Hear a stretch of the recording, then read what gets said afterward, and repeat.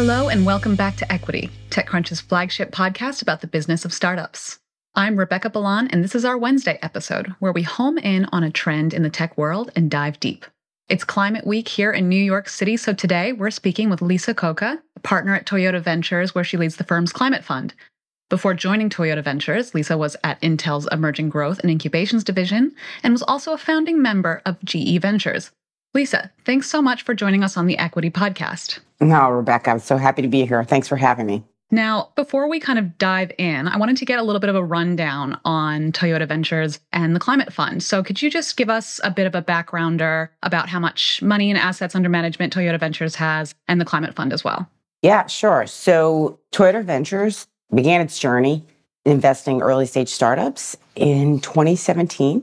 There is in total approximately 800 million in assets, a little north of 800 million in assets under management across six funds, two legacy funds that were initially focused on AI. And then in 2021, the group was rebranded from Toyota AI Ventures to Toyota Ventures. And that's when the next generation of funds was launched. And so the AI funds pivoted to what we call our frontier tech funds. So they've got a much sort of broader mandate where they're investing.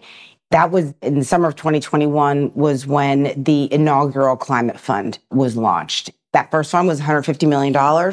Earlier this year, Climate Fund 2 was announced. So for climate as a whole, we have 300 million hmm. in assets under management. And, you know, the sweet spot for us is really seed to series A. Opportunistically, we'll go earlier or maybe a little bit later strategically. Mm-hmm. And the last comment that I'll make is that it's a pretty broad mandate. So most people, I think, will assume that because it's Toyota Ventures, that we are solely investing at the intersection of climate and mobility, that we are solely investing at the intersection, but we have a, a much broader mandate than that. Yeah. And, you know, we're both attending the Toyota Ventures event for Climate Week. There's a lot of really promising startups, and those aren't necessarily, I mean, I think they could be useful to the mobility sector. Yeah. But, we, you know, you and I talked about a couple AM batteries and Ecolectro that I thought were really interesting. Would you give us a bit of a, a headliner for both of those? Yeah, sure. Well, so before I jump into those, I will say you're absolutely right, Rebecca, that when you look at the slate of companies presenting, it's, it's pretty broad. Mm-hmm. So we've got, you know, some companies up there that would fall into what we sort of categorize as our sustainability bucket, food and ag, Zymochem, which is it's fossil fuel based alternatives like chemical drop-ins. Mm. Yeah, and then we have the usual suspects for climate, batteries and hydrogen, very much within the strike zone for Toyota in terms of being strategic. I'll start with AM batteries. AM batteries was actually the first investment that I did when we or when I arrived to Toyota Ventures. And it's super cool technology. For those of you who are familiar with the manufacturing of electrodes, it's messy, it's toxic, it's capex intensive. AM batteries has invented what they call the powder to electrode technology. And instead of it being sort of a toxic wet slurry that they use in the creation of the electrodes, this is actually a dry mixing of the powder and electrostatic deposition. It eliminates the super energy intensive steps for drying the electrodes. You don't have the toxic solvents. But equally important, there's like a 40% reduction in the energy usage of the plants, approximately 40% capex, and up to 25% reduction in the cell unit cost. So a pretty innovative technology in the battery sector. And, and we were drawn to it because a lot of the, the dollars for battery have gone into advanced chemistries and not as much into the actual manufacturing process. So mm. we're big fans of that company.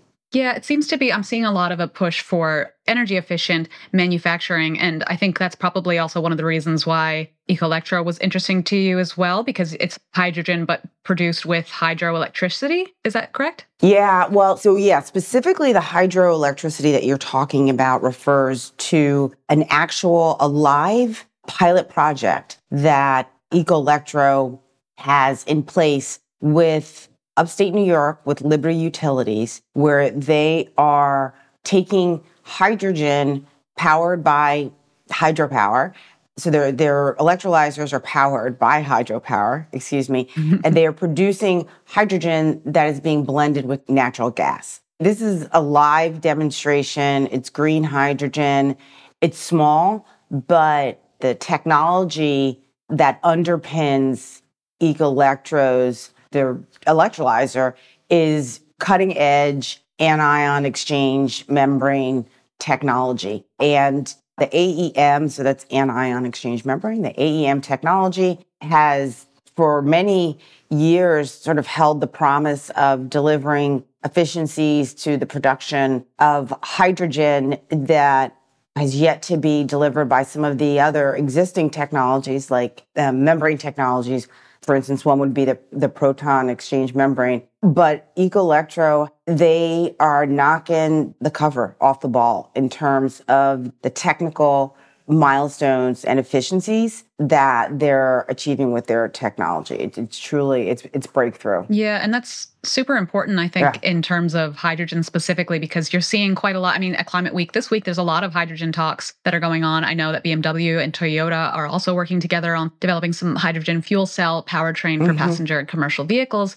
and yeah, I think that to me obviously green hydrogen is important to get right. The use case I find interesting for that because I think personally it would make more sense for larger vehicles, big trucks or planes to be fueled by hydrogen rather than maybe smaller vehicles. But I'm not sure what, what is your thought process on that? Yeah, no, I'm, I mean, I agree. You know, the battery technology is such that the size and the weight of a battery required to power a large truck is just, it doesn't work. That math doesn't work, right? And so, yeah, hydrogen low carbon fuels that are lighter weight definitely hold promise. The elephant in the room as it relates to hydrogen is infrastructure. Mm. So you can spend tons of money developing uh, technology, improving your efficiencies, your current densities, you know, and building these huge industrial scale hydrogen projects. But at the end of the day, it either has to be co-located with the use case or you have to move it. And moving hydrogen is not easy. Mm. there is no, there has never been, and there still is not, you know, widespread infrastructure in place for the proper and cost efficient distribution of hydrogen, right? So agree with you with, with, respect to sort of the hydrogen and trucks, but then it's like, okay, well, so the trucks are driving around. Where do they get the hydrogen? Yeah. right? No, it's interesting. I mean, we spoke about this before that there's obviously, we're seeing demand side challenges, there's been canceled projects. And I also find it a little bit interesting because, you know, the Inflation Reduction Act seems to have boosted a lot of American onshoring of EV, of battery production. There is a credit, I believe, for hydrogen at $3 per kilogram of hydrogen produced, yet it hasn't really resulted in it feels like the same amount of private sector investment. How is the rate of investment that you're seeing? Is it flattening? Is it Yeah. The way that I think about this, and this is based on, you know, having a couple of hydrogen portfolio companies and just, you know, wading in the waters is unfortunately, I think there is a fall off in hydrogen investment. And I'm not you know, this isn't rocket science. It was actually reported by CTVC, but I think a lot of it is stemming from the fact that number one, you're right. There isn't enough demand signaling in hydrogen or even for low carbon fuels as a whole, right? Compared to the demand signaling that we see for direct air capture, where you've got Google and Meta, you've got all these folks out there that are like basically prepaying, right? They're doing offtake agreements for things that don't even exist, right? Yeah, it's the hope. I'm not, it's a good thing. I don't want to say it's a bad thing. It's a good thing. But it'd be great to see some of that happening as it relates to low carbon fuels like hydrogen and methanol. But the biggest challenge, because those demand signals aren't there, when you look at the landscape of climate tech investors, a majority of them have already placed one or two bets in hydrogen production. Most of those bets are going to require a lot of capital And in the absence of the demand signaling, I think the VCs are saying, wow, do I want to add another hydrogen bet mm-hmm. to my mm-hmm. portfolio? And a lot of folks are like, no, yeah. I'm going to double down on the companies where I've invested that are succeeding. If I've already placed a bet on a company and it's kind of wavering a little bit, I'll perhaps put in some more money to kind of right the ship. But getting new money into hydrogen startups is hard. So when they get to the Series B, right, it's like yeah, because then it's like you really need to provide a lot of money for them to scale. But and I do want to move on past hydrogen, but I think the one thing about Ecolectro that does have a sweet spot is that they're starting small and they're using the hydrodam, right? So yeah, and that allows them to have this kind of sustainable growth model that you don't always get with hydrogen companies. Is that right? Yeah, I mean, I think we were big fans. You know, a lot of this hydrogen startups were both trying to optimize both the technology and the scale at the same time. And Ecolectro singularly focused on the technology and they started small. And so the next logical question is can you actually scale down electrolyzer technology to enable local production? And I think mm-hmm. that's one of the next areas of exploration for that company. Yeah, the use of the hydro was really interesting. I was living in New Zealand for a few years for our listeners who don't already know, and they have a, a lot of the country is run by hydro. Yeah. Because of, yeah, it's just like a natural resource there. There's a, a city called Rotorua that's completely oh. I think completely powered by hydro. So wow. I'd be curious uh, if there's any New Zealand startups doing this, uh, hit me up. Uh, curious to learn more about you.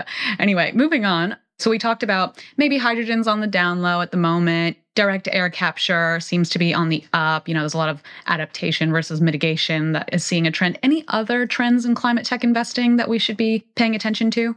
As I think about that, there's definitely more of an emphasis, and I don't want to go back to hydrogen, but I do think direct air capture continues to command the attention of investors.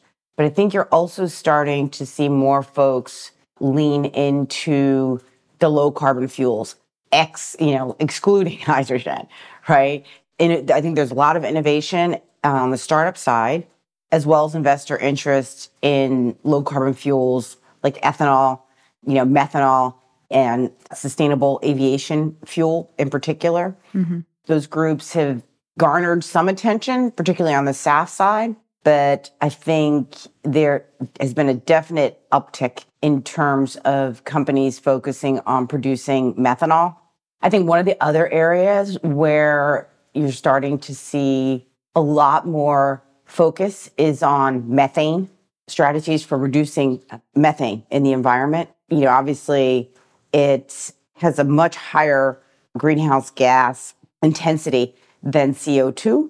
So, CO2 is more prevalent, but methane is more potent. Mm-hmm. So a number of companies, like I said, both on the startup side from an innovation perspective as, as well as from a venture capital perspective. I think methane has been an area where you're starting to see more activity.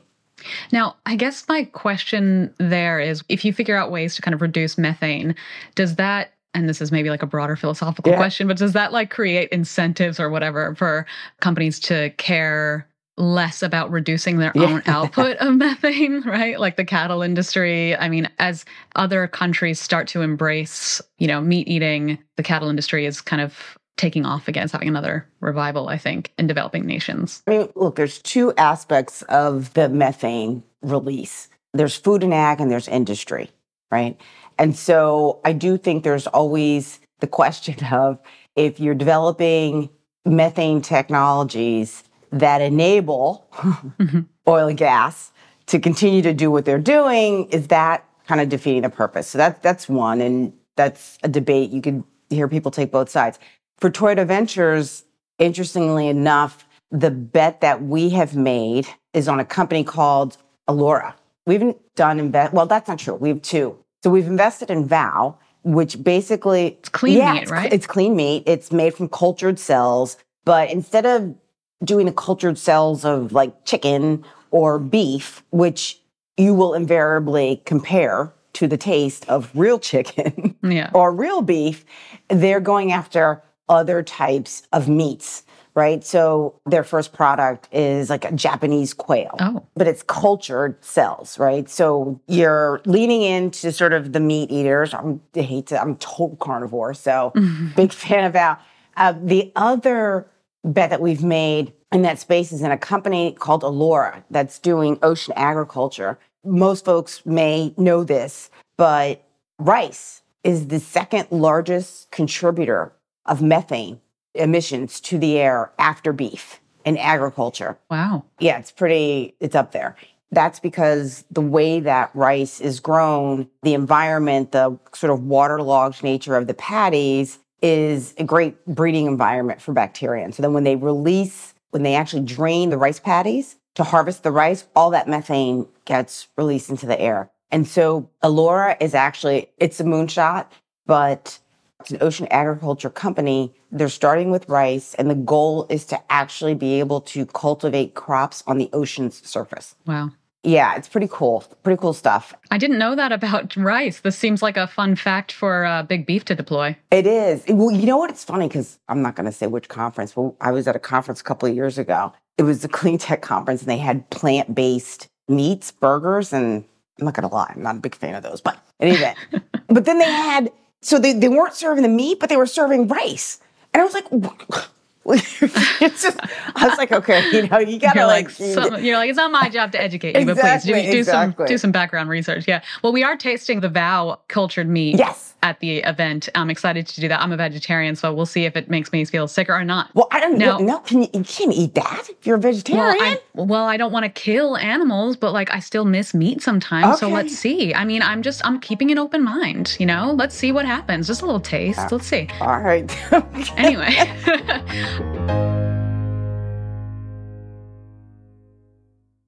Before we um, start to wrap up, I wanted to get your thoughts about the impact of the Inflation Reduction Act on early stage companies. Yeah.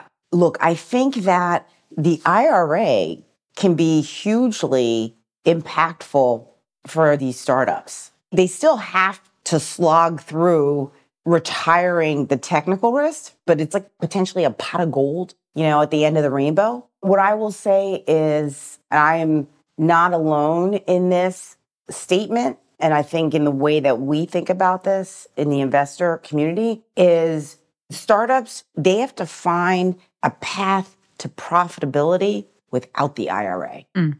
And that has nothing to do with the current, you know, political situation. It's just at the end of the day, the green products and the climate tech products have got to find a path to cost parity with the fossil fuel based alternatives. Right. we will never solve this if if that doesn't happen. The climate conditions right? Consumers one thing right? Some consumers will pay up.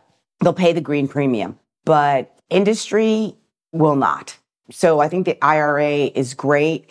It can potentially once they produce their products that extra money can maybe help them move down the cost curve but it's not a silver bullet for for solving Yeah, you don't want to see like, oh, we're okay, we're profitable. Oh, let me look at your balance sheet. Oh, you're you've just bolstered by the IRA money. It's not actually revenue that's coming in necessarily, or not enough at least to combat the costs of your business. Exactly, exactly. I mean, Yeah. that's one of the things that we, you know, a lot of the startups that get like non dilutive money, they'll get uh, awards from the DOE, and it shows up on the income statement as revenue, but it's not revenue, right? Like, revenue is customer sales. Right. So it's good. Yeah. It's all good. I'm not trying to suggest otherwise. So, someone once told me that a lot of early stage companies, when they get IRA funding, it impacts their valuations and like almost artificially inflates them. I, I wasn't sure about that myself. What do you think about it? When they get IRA dollars, Yeah, but I suppose you can't get that all at once, right? You have to prove certain things out. Yeah.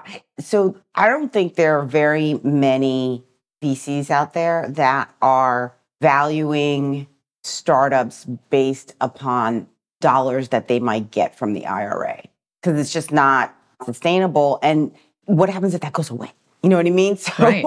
Yeah.